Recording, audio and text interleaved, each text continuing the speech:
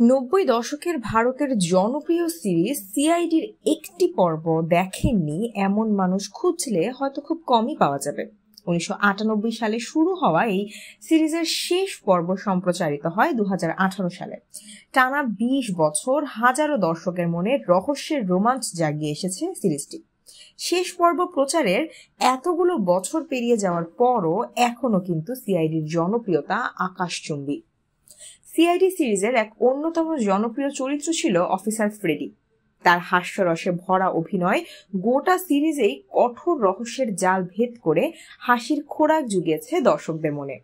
তাই ফ্রেডির প্রতি ভালোবাসাও যেন অনেকটাই বেশি ভক্তদের। ভালোবাসার এই প্রিয় অভিনেতার হঠাৎই মৃত্যুর সংবাদে তাই স্তম্ভিত ভক্তরা।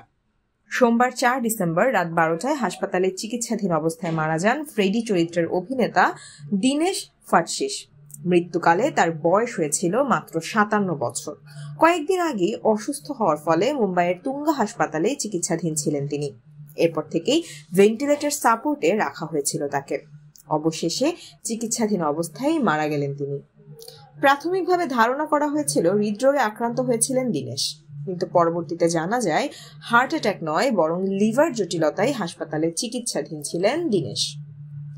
ভালোবাসার এই অভিনেতার মৃত্যুতে শোকের ছায় নেমে এসেছে ভক্তদের মাঝে। অনেকেই নস্টালজিক হয়ে সোশ্যাল মিডিয়ায় শোক প্রকাশ করছেন।